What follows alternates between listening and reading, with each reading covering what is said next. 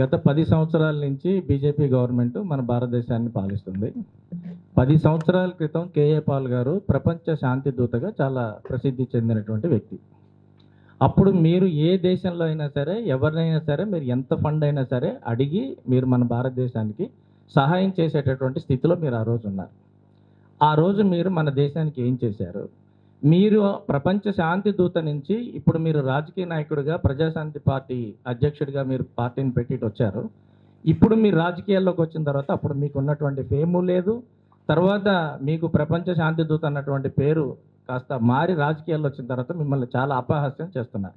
మీ దగ్గర బాగా నిధులు తెచ్చేటటువంటి శక్తి సామర్థ్యాలు ఉన్నప్పుడు అప్పుడు మీరు మీరు దేశానికి ఏం చేశారు? ఇప్పుడు రాజకీయాల్లోకి వచ్చిన తర్వాత ఇప్పుడు మీకు ప్రపంచ మీకు అసలు ఫండ్స్ రావట్లేదు. లాస్ట్ టెన్ ఇయర్స్ నుంచి రావట్లేదు. మన దేశంలోనే బ్యాన్ చేశారు. ఇప్పుడు మీరు మన దేశానికి నిధులు ఎలా తెస్తారు? ఎలా మీరు సపోర్ట్ చేస్తారు? చాలా మంచి ప్రశ్న అండి.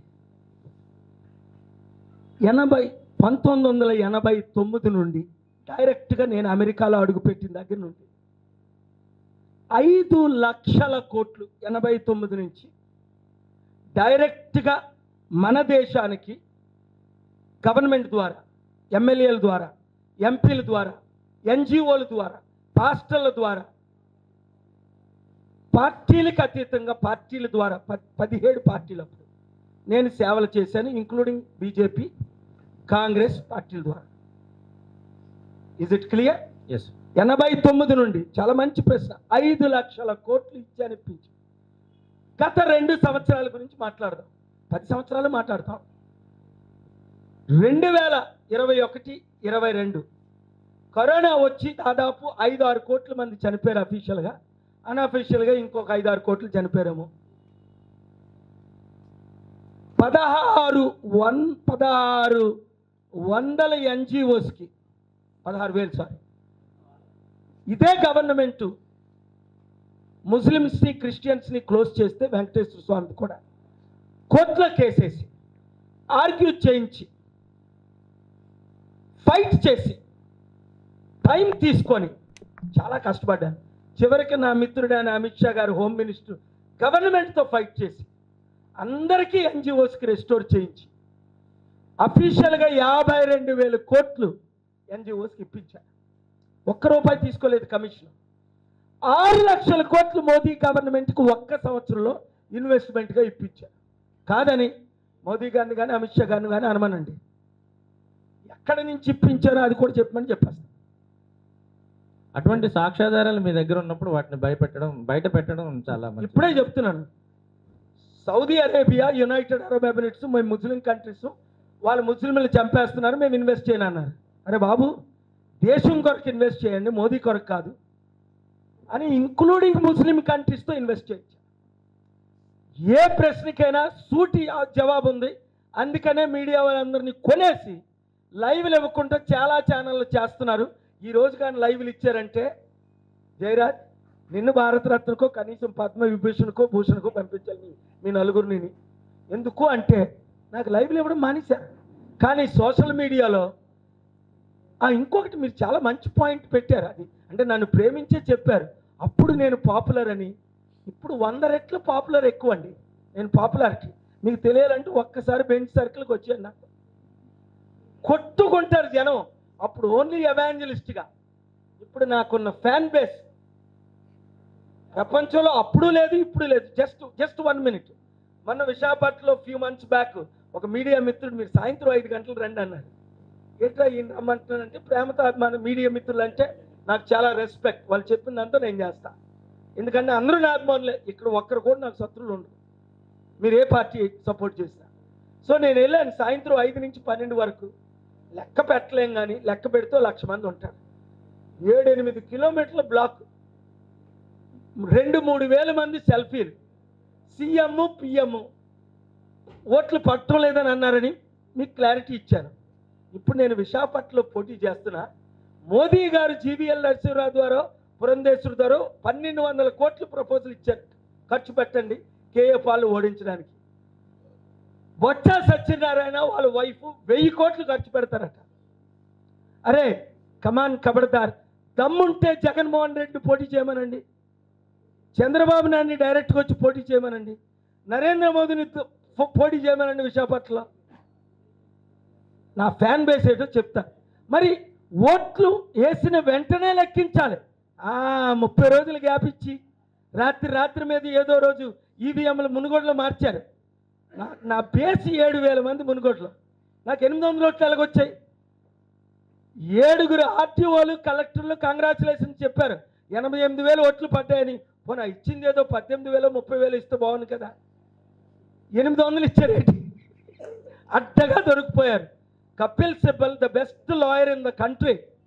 Press meet పెట్టి లండన్ నుంచి చెప్తున్నారు పది సంవత్సరాల నుంచి. అరవై లక్షల ఈవీఎంలు తయారు చేశారు. నలభై లక్షలు అఫీషియల్గా వాడుతున్నారు వాడుతున్నారు. ఇరవై లక్షలు అన్అఫీషియల్గా ఎక్కడ వాడాలో తెలంగాణలో వాడలే. మేము వాడనివ్వలే. కర్ణాటకలో వాడలే. ఎందుకు? మళ్ళీ ఏకనాథ్ సింధేని ఎవరినో చేస్తారు. ఈ ఎలక్షన్లు అయిపోగానే. నా మాట పెట్టుకోండి మీరు. శివసేన ముక్కలు చేసినట్టు తెలంగాణని కర్ణాటకని ముక్కలు చేయడానికి మోదీ గవర్నమెంట్ ప్రయత్నిస్తుంది. లేదా శివసేనను జైల్లో పెట్టినట్టు పెడతారు. గత అంశాలు ఎప్పుడో జరిగిపోయినాయి.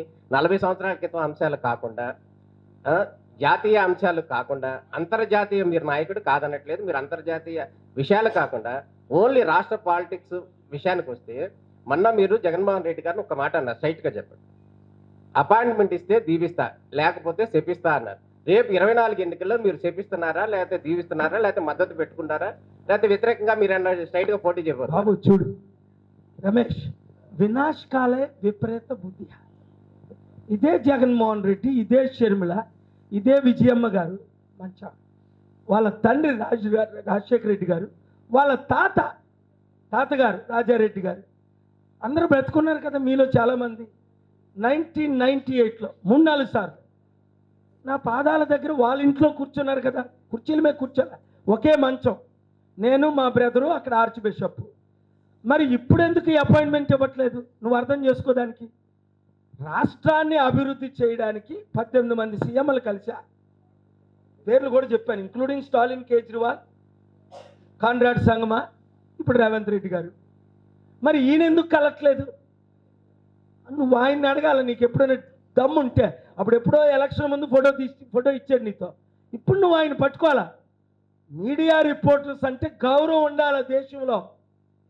మోదీ గౌరవం ఇవ్వడు. జగన్మోహన్ రెడ్డి గౌరవం ఇవ్వడు. నేను ఎందుకో చెప్తాను దానికి. పెద్ద లైట్ రాబోయేసరికి క్యాండిల్ అన్నీ కనబడవు మరి. నా ముందు వాళ్ళు డిబేట్ చేయగలరా? నేను అభివృద్ధి చేయగలను. అప్పులు తీర్చగలను. అందరినీ ఆదుకోగలను. ఇక్కడ పది లక్షల కోట్లు అప్పు ఉంది. ఒక సమిట్ పెడితే పోనీ రెండు సమిట్లు పెడితే పది లక్షల కోట్లు అప్పు తీర్చుతా. ముప్పై లక్షల ఉద్యోగాలు హైదరాబాద్ తీసుకొచ్చాం చంద్రబాబు నాయుడు గారు ముఖ్యమంత్రి ఎప్పుడయ్యారు? Ninety five August. నేను ఎప్పుడు అభివృద్ధి చేయడానికి హైదరాబాద్ వెళ్ళాను. ఎయిటీ వన్ పదిహేను సంవత్సరాలు. చరిత్ర చూడు. ఎంతమంది ముఖ్యమంత్రులు అప్పుడు నన్ను ఎందుకు కలిశారు ప్రధానమంత్రులు? అప్పుడు నేను చెప్పుకోలేదు. ఇప్పుడు నేను ఎందుకు చెప్తున్నాను? వారు అన్నారు చరిత్ర ఇప్పుడు మీరు పాపులరా కాదా అని ఇప్పుడు పాపులారిటీ పెరిగింది ఓటు బ్యాంక్ పెరిగింది ఆదరణ పెరిగింది సత్యం జనాలకు అర్థమైంది. అందుకనే మన వైపు ఉన్నారని చిన్న చిన్న పార్టీలు శర్మిలాకి డే అండ్ నైట్ పవన్ కళ్యాణ్కి డే అండ్ నైట్ ఎందుకు? ప్యాకేజ్ స్టార్లకి చిరంజీవికి పద్మ విభూషణ్. ఏం బాబు? ఒక్కసారి అర్థం చేసుకోండి. మీరు ప్యాకేజ్ స్టార్లు అయితే మీకు పద్మభూషణ్లు పద్మ విభూషణ్లు భారతరత్నాలు ఇస్తారు. మీరు ప్రశ్నిస్తే సెంట్రల్ మినిస్టర్ పోస్ట్ ఇస్తారు. ప్రశ్నిస్తే అరే బాబు ఈయనకి సెంట్రల్ మినిస్టర్ పోస్ట్ ఇచ్చిన మొన్న రేపు పార్లమెంట్లో అందుకనే తెలుగు ప్రజలారా seven five six nine double four one two seven five నన్ను పార్లమెంట్కి పంపండి విశాఖపట్నం నుండి. అందరూ ఓటేయండి అందరూ మద్దతు ఇవ్వండి అందరూ ప్రార్థించండి అందరూ కృషి చేయండి. ఇప్పుడున్న వారు మోదీ తొత్తులను చిత్తుగా ఓడించండి. మీరందరూ వచ్చి క్యాంపెయిన్ చేయండి. రెండు ప్రజాశాంతి పార్టీ తరపున మంచి అభ్యర్థుల్ని నిలబెట్టండి. ప్రజలు గెలిపిస్తారు. లేదా రాష్ట్రం సర్వనాశనం దేశం సర్వనాశనం అయిపోతుంది. అప్పుడు అంబేద్కర్ని బతుకున్నప్పుడు గుర్తించామా? భారతరత్న ఇచ్చారా? మంత్రి పదవి ఇచ్చి తీసుకోలేదా? Doctor B R Ambedkar. ఇప్పుడు జగన్మోహన్ రెడ్డి గారు నాలుగు వందల యాభై కోట్లు కేసీఆర్ గారు నూట ఇరవై విగ్రహాలు కడుతున్నారు. నా విగ్రహాలు ఎవడు కట్టకండి.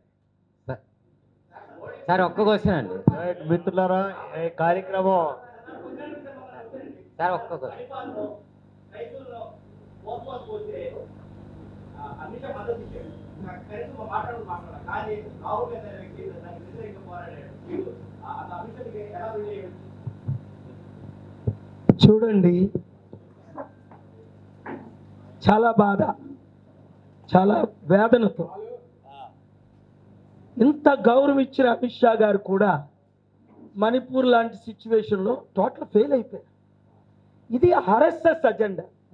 అమిత్ షా అజెండా కాదు. పర్సనల్గా ఆయన చాలా మంచి ఆయన. Amit Shah is a great man humble man కానీ ఆర్ఎస్ఎస్ అజెండా ఇవాళ అమిత్ షా ఉన్నాడు. రేపు ఇంకోటి వస్తాడు. మీరు అర్థం చేసుకోండి. ఈరోజు జగన్మోహన్ రెడ్డి గారు చంద్రబాబు నాయుడు గారు పవన్ కళ్యాణ్ మోదీకి తొత్తులు ఎందుకు అయ్యారు అంటే గతి లేక. సత్యం తెలుసు వాళ్ళకి. ఆర్ఎస్ఎస్ ఏం చెప్తే అదే. లేదా వంద మందిని జైల్లో పెట్టారు. మమతా బెనర్జీ పదహారు మందిని ఎమ్మెల్యే ఎంపీని. Kejriwal right hand left hand అని. మొన్న చంద్రబాబు నాయుడిని. మీకు జైలుకి వెళ్ళాలని ఉందా? మాకు మద్దతు ఇస్తారా? ఒకటే వాళ్ళు అడిగేది. శివసేన ఒప్పుకోలేదు. ఫినిష్ చేశారు ఏముంది మీకు? నేను చెప్పినవన్నీ నూటికి నూరు సత్యాలని మీకు తెలుసు. అయితే నాకు నేను డేరింగ్ డాషింగ్ ఉన్నాను. మీరు భయపడుతున్నారు.